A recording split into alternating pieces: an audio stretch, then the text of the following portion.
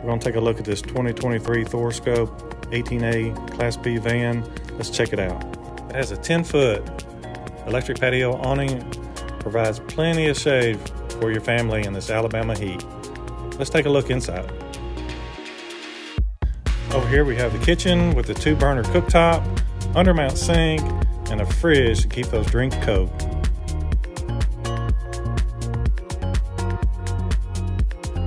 And dual passenger seat with overhead storage next to your wet bath area.